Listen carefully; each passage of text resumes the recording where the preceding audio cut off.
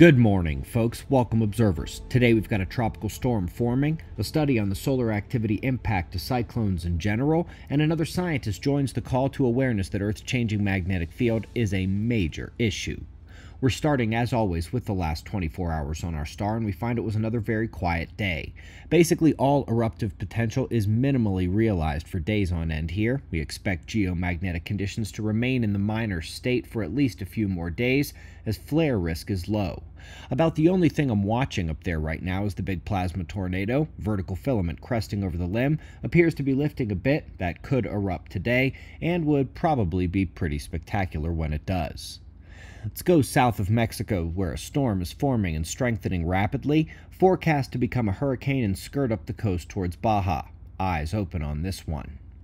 Speaking of the tropics, excellent study here showing the correlation between solar activity and Indian Ocean cyclones. This occurs via three primary pathways the compression of the magnetosphere causing electron precipitation, the auroral energy beaming equatorward in waves, and the ionization of the upper atmosphere by solar flare X rays. All of these amplify the global electric circuit flow up and down through the pressure cells, and the most extreme pressure cells are the tropical lows.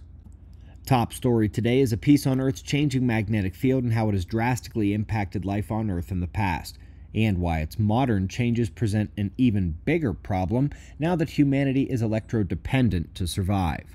Pretty much the theme of this channel, isn't it? You know, for many reasons, what's happening right now is in fact the most important thing almost nobody is talking about. Folks, on July 1st, our E Magazine special issue will release the mid June solar flares and the impact they had on our planet. Every month, there is a special issue and a monthly science rundown. When you sign up at the link below, you get instant access to every past issue. Link is below. And folks, my new book on the sun, the earth, the galaxy, and the disaster cycle is coming out soon, we need to make some room on the store shelves. My previous layman's level book is on sale right now, along with several other items. We have a few more of the last ever Suspicious Observers brand shirts, lots of space weather news gear, and more. Link is below both to the store and to the e-magazine, and we greatly appreciate your support. We'll do this all again tomorrow right here, but right now at 6 a.m. in the new Valley of the Sun. Eyes open, no fear.